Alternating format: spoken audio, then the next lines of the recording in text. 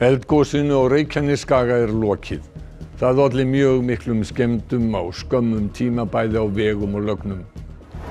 Margra daga heitavatnsleysi gæti verið framundan á Suðurnesjum eftir að hjáveitulögn rofnaði undir miðju hrauninu í gerkvöld. Enn er óvissa með ramagn vegna álags á dreifikerfið. Fimm manna fjölskylda í Sandgerði pakkaði niður í dag og fór úr bænum vegna kuldans og óvissunar með ramagn. Þau stemdu til Selfoss þar sem þau fengu lánað húsnæði hjá ókunnugum en hjálpsömum íbúum. Ekki verður hægt að vernda almenna borgara ef landherr Ísraelsmanna ræðst á Rafa á suðurhluta Gaza að mati Saminuðu þjóðana. Flóttamenn sem hafa flúið þangað segjast hvergi geta farið. Nemendur í Norlingaskóla í Reykjavík segja að þeir þurfi engum að, þar þurfi engum að leiðast. Síðasta vika fór ég að ræða samskipti og vináttu. Hjörtu með hrósi og góðum óskum þekja vekk í skólanum.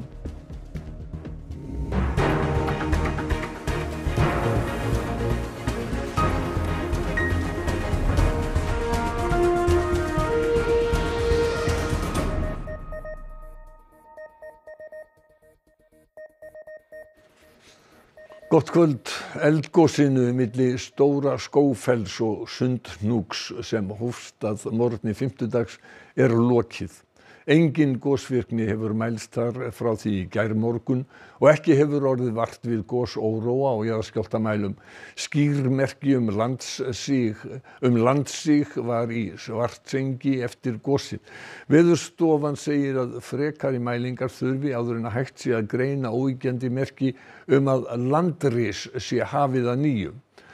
Eldgosið olli mjög miklum skemmdum á skömmum tíma þegar hraun rann yfir Grindavíkurveg og rauf í sundur heitavagslögn. Margir dagar gætu liðið þar til heitt vatn kemst á aftur á Suðurnes eftir að ljóst varði í gerkvöld að ný hjáveitulögn hefði rofnað undir hrauninu. Unnið verður næstu sólarhinga við að leggja vegi við hraunið og koma nýri 600 metrar lögn yfir það. Ráðamenn bæjarfélagana þryggja á Suðurnesjum komu saman í morgun og rættu þær erfiðu aðstæður sem að komnar eru upp vegna skorts á heitu vatni og óörugsflutnings á rammagni. Staðgengill bæjarstjóra Reykjanes og bæjarstjórar Suðurnesja bæjar og Voga hittu stjórnendur Háis Orku og Veitna, fulltrúa frá Landsbjörg, Lauruglinu og Rauðakrossinum, auk stjórnenda frá heilbriðstofnun Suðurnesja á fundi í morgun. Já, við vorum fyrst og fremst að fara yfir stöðuna sem er auðvitað gjör breytt frá því sem við vorum að vona í gær og þá er þetta mikil vonbreyði að þetta skildi ekki takast eins og vonið stóðu til mm. og það er alveg ljóst að við stöndum frammi fyrir allt annari og, og dekkri sviðsmynd í dag þannig að það mun taka talveit mikið lengri tíma að koma að hitta á svæðið og það líkur svo sem ekki fyrir eins og er hversu langan tíma en, en, en þetta er orðin talveit alvarleg staða sem uppi komin. Mikil áhersla er nú lögð á að samræma upplýsingar milli bæjarfélaga til íbúana og tryggja að þær berist öllum. Þessi þrjú sveitafjölu sem hér eru, eru undir í þessu verkefni förum í, í okkar bakland og fundum okkar neyðastjórnum og setjum saman aðgerra állum varandi þjónustu næstu daga. Á heilbriðistofnun Suðurnesja er bráðamóttaka, heilsugjastla og ljósmæðravakt en fæðingardeildin er lokuð. Rúmlega 50 manns eru inni liggjandi á sjúkrahúsinu og 30 til viðbútar býða eftir öðrum hjúkurnarýmum þar en átján manns komi frá hjúkurnarheimilinni Grindavík á dögunum. Hittablásarar eru í öllum vistarverum og varmadælur verða keirðar í gang fljótlega. Við erum með tilbúna rýminga áallin og, og hérna, uppferðum hana hérna, á, á 50 daginn. Við sjáum ekki fram á, á meðan við höfum kallt vatnir sem við höfum rafstöð sem er öflug að ef að rafmagnu fyrir þá eru við sjálf bærsamt og við sjáum ekki fram á að þurfa að rýma. Fimmanna fjölskylda í Sandgerði pakkaði saman í dag og yfirgaf bæinn. Þau segja að fleiri fjölskyldur ætli að yfirgefa suðunessin tímabundið.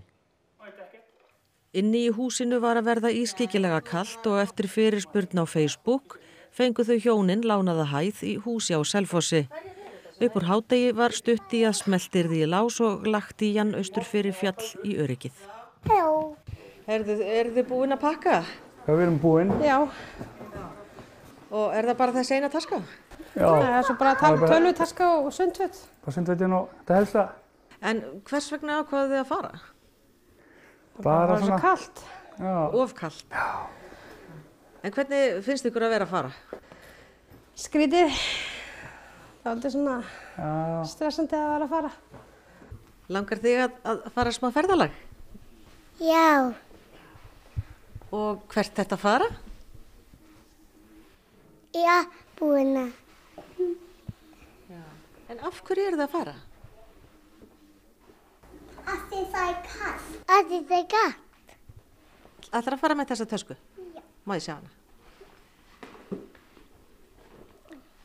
Já, já, já. Hún er voða þung. Hvaða dót ætlar að taka með þér? Er hann hér? henni hérna, svo Já, er það rísæla. ég ganga báðu það. Það líka getur sitt hennar. Ætlar að taka með þér eitthvað bánsa? Já, Má ég sjá hann?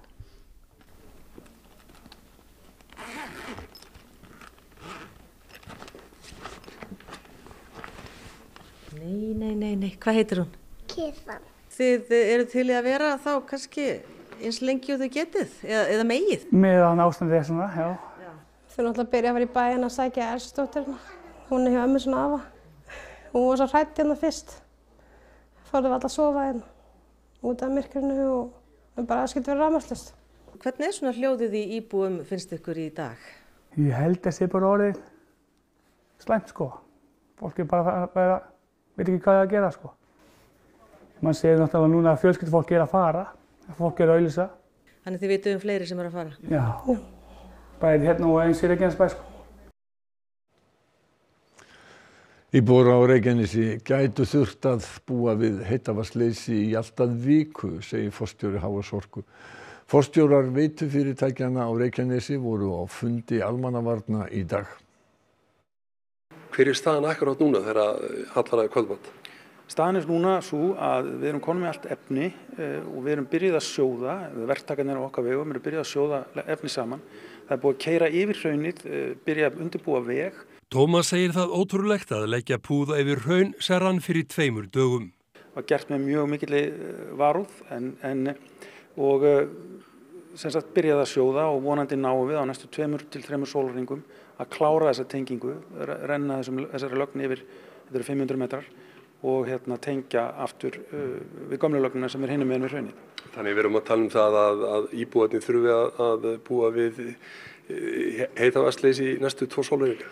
Já, að minnstakosti það. Því að síðan þegar að við erum búin að tengja þá þarf að hita lögnin upp, það þarf að fylla tankana á fytjum og svo þarf að fylla tanka í hverfum og, og, og koma þessu til skila þannig að ég held allir að búa þessu undir viku.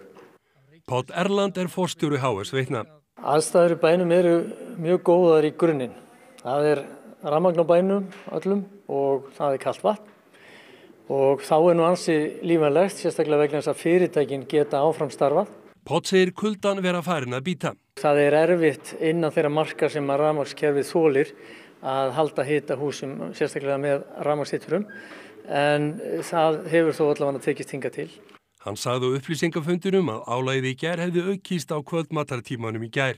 Það sem að gerist greinlega þá er að fólk kemur heim og, og það kannski stillir hittan aðeins meira og byrjar síðan að elda og eldunatæki, bæði opnar og spanhellur eru mjög afmikil tæki og þess vegna er alveg nöðsynlegt að slökkva á ramaskynningunni rétt á meðan að eldað er til þess að reyna að búið ekki til of mikið áláðu kerfi.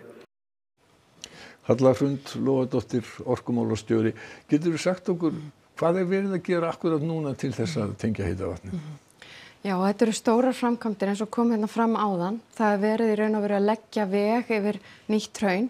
Svo er verið að sjóða saman uh, rör sem að ná þá í heldina yfir hátt í uh, tæpla 500-600 metra. Og þetta eru stór rör? Já, þetta eru rör sem eru dregin síðan upp á uh, veginn við hraunið. Þannig að þetta eru stórar framkvæmdir í þessum brunagatti sem við erum auðvitað með úti núna. En vonandi gengur þetta allt vel og það er auðvitað það sem að menn stefna að. Mm, og talaðum um viku þarna það er sér sett fyrir síðan ástandi á Reykjaneskaga mm -hmm. varir í ja, allavega viku. Mm þá má spurja, hefðu við ekki þurft að vera betur undirbúin? Þetta skiptir mjög miklu máli núna þegar við erum að horfa á viðburði sem að munu líklega gerast endurtekið. Að við séum að gera ráðstafanir bæði þegar varðar búnaðamál, eh, lagna, efni og annað að, að við séum, höfum það tiltækt. Einni skiptir máli að við séum að horfa á aðgengi að hita á fleiri stöðum, láhita þannig að við þurfum ekki alltaf að, að treysta þessar sömu lagnir og auðvitað er það leikilmál þegar við erum að horfa á orku öryggi íbúa á þessu stóra svæði að, að við séum viðbúin slíkum endurteknum viðbyrðu. Erum við þá að tala um, þú segir að leita orku á lághittasvæðum, erum við að tala um hittavitum fyrir hvert bæjarfélag? Mér raun og veru að tala um að það sé betra aðgengi að heitu vatni, þannig að við getum í raun og veru tengt úr ólíkum áttum, ef svo maður segja. Svo uh, HS Orka hefur verið gaggrínd vegna þeirra stuði sem hafa komið upp. Gaggrín hefur komið frá bæjarbúum um að fyrirtækið hafi ekki sínt samfélagslega ábyrð, verið að græða á tá og fingri og ekki undirbúa undir. Hvað segir um þessa gaggríni? Ég get sagt að Orkustofnun í samvinnu við þessi fyrirtæki hefur verið að vinna að viðbröðum og, og svo vinna hefur verið upp á borðum og var komið til ríkistjórna nú síðast í, í nóvumber og svo aftur í januar. Þannig að það hefur verið greiðlega mikill undirbúningur og auðvitað eru þessar aðstæður ákveðið símant. Það er ekki hægt að taka uh, ákvarðir langt fram í tíman með sund uh, og almannavarnir gegna hérna líki hlutverki.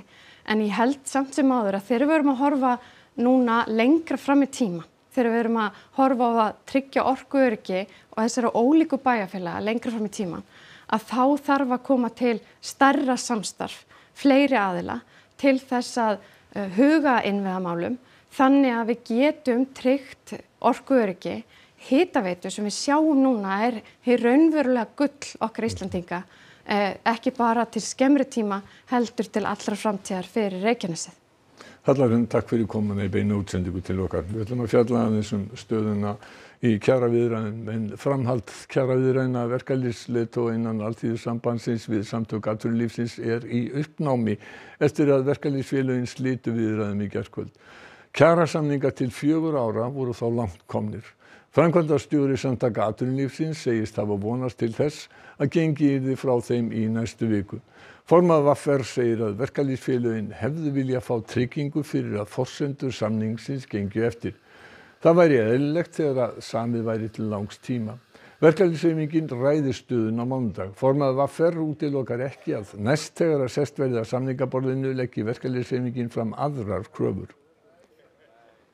Ísraelsmenn hafa aukið árásir á Rafa, síðustu borg Gaza, en þar dvelu nú yfir helmingur allra íbúa Gaza.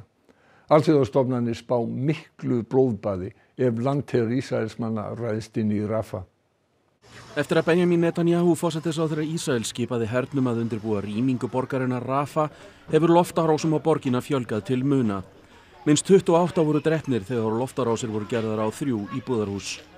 فقعدنا ندور فجأت انه الشقه اللي فيها ابني يعني هذا الشهيد هو واولاده مولع نار وقعدنا ندور على جثث نلاقي جثث يعني نقيمها تفاجئنا فيش جثث فبدانا نلم قطع لحم قطعه اللحم لا تتجاوز ال 10 سم 5 سم يعني Það voru þrýr lauruglumenn drefnir í dróna á rás Ísraelsmanna.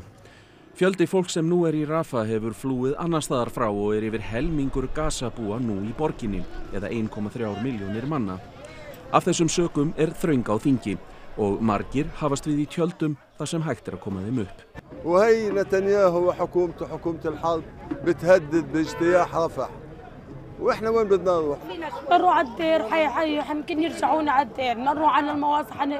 حيرجع بيلحقونا وين ما جوا بعدين بدنا أمان زقنا والله تعبنا تعبنا عن جد تعبنا معيا Fjölmargir vara við afleiðingum þess að Ísraelsmenn fari í landhernað í Rafa, meðal annars miklu mannfalli meðal óbreyttra borgara. It is nearly impossible to, for us to protect them uh, from tank fire, from artillery shells, uh, and so on. And we, we all see what is going on currently. Rauði hálmónin í Palestínu byrti í dag myndskeið af brunnum sjúkrabíl eftir árás Ísraelsmanna í Gazaborg. Í honum voru tveir sjúkraliðar og sex ára stúlka sem öll byðu bana.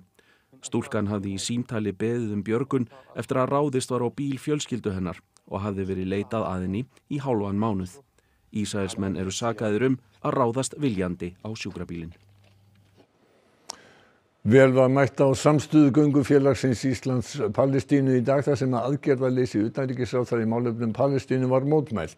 Mótmælendur söfnuðust fyrst saman fyrir utan ráðunitið og hrópuðu það slagur til stuðnings palestínumönnum.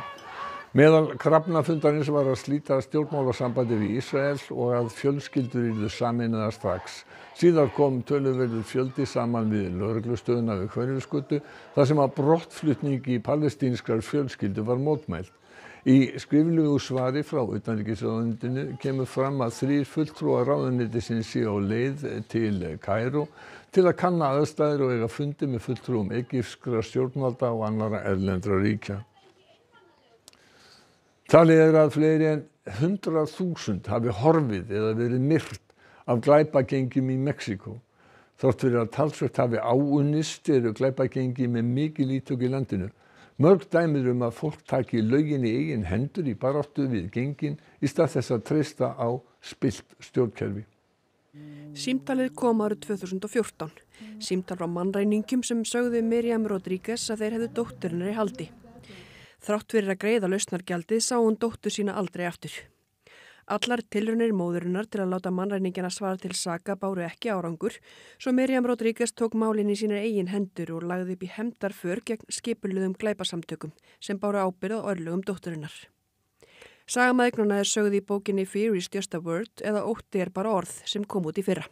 She was smart and, and capable, but she just broke and was able to do something that is ripped straight from a Hollywood screenplay.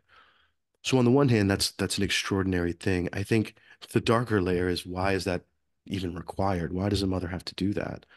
Why would anyone have to do that? Örlög dóttur Miriam Rodríguez eru ekki einstæmi. Talið er að um 100.000 hafi horfið með þessum hætti í Mexíkó. Stjórnkerfið er enn mjög víða spilt og löggjæsla samaskapi máttlaus í baróttunum við glæpagengin. Þó dreigið hafi úr áhrifum þeirra hefur barátt á stjórnvalda við glæpasamtök verið blóði drifin og stendur í raun enn yfir. And sure, she had a, she had success. You know, she found some of these people. Some of them were killed as a result of her investigation. Others were imprisoned. But at the end of the day, she was killed. Nánar uh, var fjallað um þetta mál í fyrsta skýringa þættinum heim.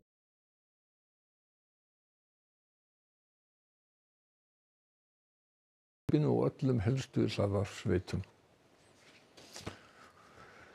Sjálfbóðaliðar Rauðakrossins hafa vart undan að flokka född frá íslenskum heimilum. Um 2700 tón af textíl bárust í söfnunargám á síðast ári og aðeins brot af því er nýtt hér á landi. Það kannast eflust margi við að enda fataskápa tiltæktina við þessa gáma hér.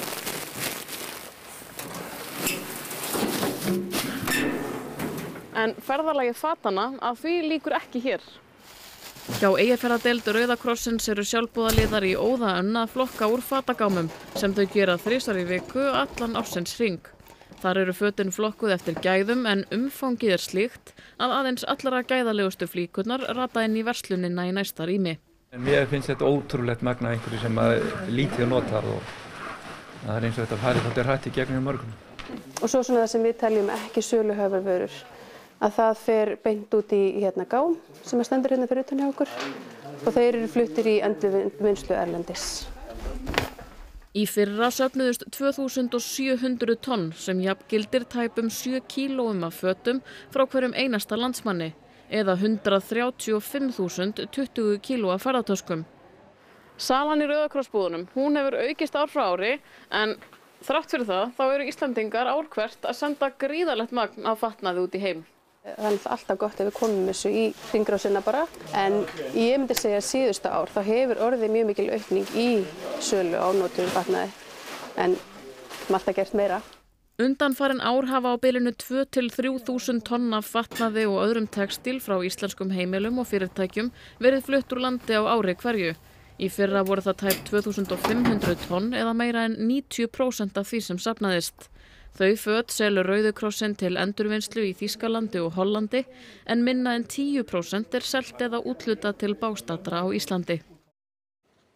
Grunnskólanemendur í Reykjavík vörðu síðustu dögum í að treysta vinaböndin. Undanfarin fimm ár hafa nemendur skólana í höfuborginni valið sér verkefni í svo kallaðri viku 6. Í Norrlingaskóla urðu samskipti og vinátta fyrir valinu. Krakkarnir eru svo opinn og þau, þau lifa bara í svo fjölbreyttum heimi. Þau, þau eru tilbúin til að tjá sig og skiptast á skoðunum og virða skoðunir annar þannig að okkur finnst þetta að hafa gengið vel með svona unga krakka. Byrjum vikuna á bekkjafundi með þar sem allir fengi að tala og, og svo endum við vikuna að færa þetta yfir í netmiðla og samskipta á netinu og þá hafðu við rosalega mikið um að segja þau eru þetta svo mikið í þeim heimi þannig að það var mjög fráðlegt að sjá það. Það var ekki annað að sjá en að þessi 8 og 9 ára börn leiðu sér fram við að búa til kærleiks kveður til skólafélaga sinna. Við erum að búa til svona, já bara hjörtu og við skreitum þau svona utan og svo skrifum við svona um, hrós inn í eins og þú ert góð eða klár eða hugmyndaríkur, eitthvað þannig. Þetta lítur að vera mjög skemmtilegt, er ekki? Jú, þetta er bara mjög skemmtilegt. Fjölskytti þín elska þig og vinið þínir elska þig líka. Skiptir þetta rosalega miklu máli að vera að hugsa svona fallega um, um aðra? Já, þetta er hjarta. Grænt hjarta? Grænt. og það er alltaf svona eitthvað gott inn í og kannski, kannski ekki geta aðra liti eins og leikt, raukt, blátt, bara fyllt af litum. En það stendur þetta að þú ert klár. Já. Er það einhver sérstakur sem að fá þetta? Allir. Mér finnst allir vera klárir. Ég er að gera hjörtu, eða svona hjarta, með hrósi inn í. Af því ef maður er leiður eða líður ekki nógu vel, þá getur maður að fara fram á gang og maður getur kíkt á hjörtum. Og frammi, þar eru mjög mörg hjörtu sem eru með svona hrósi inn í. Þannig að það þarf engum að leiðast í þessum skóla. Nei, það er alltaf gaman hér. Þessi flottu krakkar fóru síðan með hjörtun sín og hengdu upp á vegg til þess að skólafélaga þeirra getur lesið þessar fallegu kveður. Og stelp og strákar getur líka áður vinir. Þó þessi ekki kærust? Nei, þið þurfi ekki að vera kærustu eða þeir vinir. Er það? Já, Og eru margir vinir hérna hjá okkur? já, allir eru vinir hér. Það verið frost á fróni að undarförnu nú. Línar eitthvað Sigurd Jónsson spáir því að austan eða norðaustan kaldi eða steiningskaldi verða morgun víða snjókoma eða jél, engum suðaustan til all hvöss eða hvöss austanátt við suðuströndina. Snjókoma eða slitta austanlands þegar að kemur fram á morgundaginn og Sigurður segir að hiti verði nálægt frostmarki. Hann ætlar að fara nánar yfir þetta og horfur næstu daga þegar Óðinsson, Óðinsson hefur sagt okkur í þóttafréttir. Norska markavillin Erling Braut Holland myndi heldur betur á sig í ennsku úrvalstildinni í fótbolta í dag þegar englandsmeistarar Manchester City unnu örugan sigur. Vestfyrringar muni í sumar eiga lið í efstu deild Karla í fótbolta í fyrsta sinn í 40 ár. Formaðurinn er hverki bangin. Og við settumst niður með Snæfríði Sól Jórunardóttur Sundkonu sem undirbýr sig nú fyrir ólimpíuleikana í París í sumar. Íþróttir hér rétt handa með hotnið. En fyrst ætlum við að fara yfir helstu atriði fréttana. Eldgósin á Reykjaneskaga er lokið. Það allir mjög miklum skemmdum á skömmum tímabæði og vegum og lögnum. Margra daga heitavarsleysi gæti verið framöndan á Suðunesjum eftir að hjáveitulögn og rofnaði undir miðjurhrauninni í gerkvöld. Enn er óvissa með ramagn vegna álags á dreifikerfið. Fimmanna fjölskylda í Sandgerði pakkaði niður í dag og fór úr bænum vegna kuldans og óvissunar með ramagn. Þau stemdu til Selfoss þar sem þau fengur lánað húsnæði hjá ókunnugum en hjálpsumum íbúum. Ekki verður hægt að venda óbreytta borgara ef landherr Ísraelsmanna ræðst á Rafa í suður hluta Gaza að mati saminuðu þjóðana. Flóttamenn sem hafa flúið þangað segjast hvergi geta farið. Nefnendur í Norlingaskóla í Reykjavík segja að þar þurfi yngum að leiðast. Síðasta vika fór ég að ræða samskipti og vináttu. Hjörtu með rósi og góðum óskum þekja vegg í skólanum.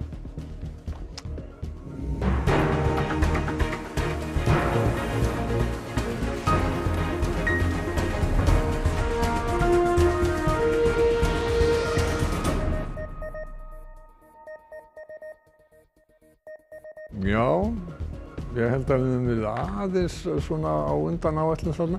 Ég ætla að segja ykkur að næstu frétti, þetta vitið þið náttúrulega allt. Næstu frétti verða í útvarpi klukkan 10 í kvöld. Á rúf.is má nálgast allar fréttir, nýjustu fréttir á íslensku, ennsku og pólsku. Og þá ætlum við að ljúka þessum fréttatíma og ég segi njótið þessum eftir helginni og verðið sæl. Og nú má komum við lokin.